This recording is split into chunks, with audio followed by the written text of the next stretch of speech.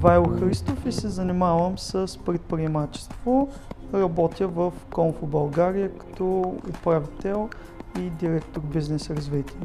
Аз отговарям за разговорите с ключови клиенти, намирането на нови клиенти, намирането на нови възможности за компанията, развиването на бизнеса като цяло. Най-трудното за сега са ми финансите, понеже не съм с такова образование и някои неща не са ми чак толкова понятни.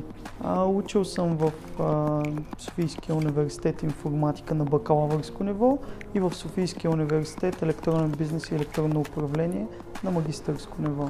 Ами, общо взето имам доста години опит в а, IT средите в България, като по едно време открихме възможност, която се заслужава и основахме Конфо България като компания. Първата ми работа беше едно лято, когато бях още, мисля, че на 15 години.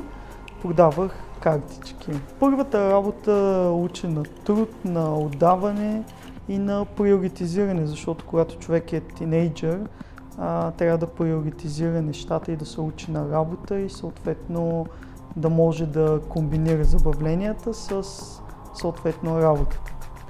Много са нужните успешни качества, за да бъде човек успешен предприемач, но едно от най-важните качества е човек да не се отказва никога.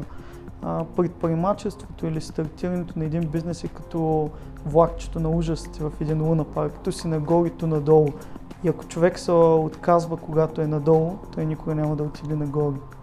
Харесва ми това, че имам възможност да реализирам идеите си, и да видя това, което първо съм планирал, да го видя реализирано. Книгата Мисия моята IT кариера е написахме, за да може да помогнем на младите хора, които търсят реализация в IT сектора в България.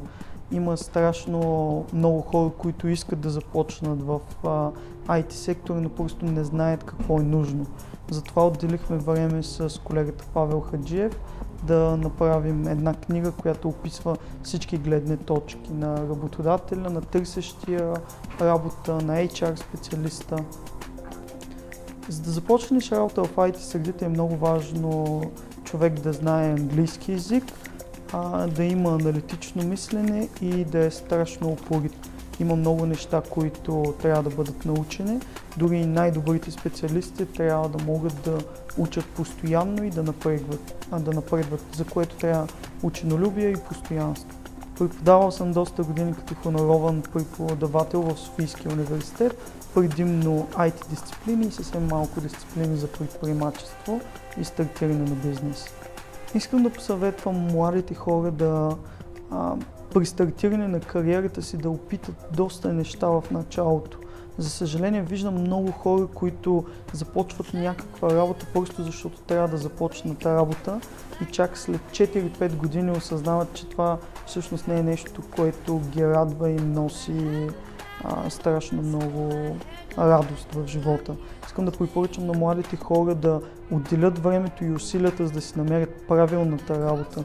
Тогава ще са наистина щастливи. Мечтая си да имам повече време свободно. А, някак се в забързаното ежедневие не можем да намерим достатъчно време за всичко.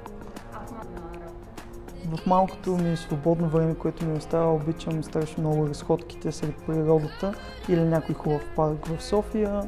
А, обичам да изкачвам планини, да правя барбекюта сред природата и също и някои спортни дейности.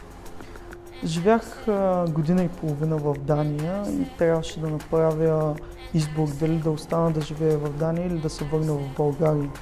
А, това, което много хора си мислят е, че в България има неща, които не са наред и излизайки извън България, те решават проблемите си, а всъщност не е така. А, насякъде има предизвикателства, независимо дали човек се намира в България, в Дания, в Штатите или където и да е другаде.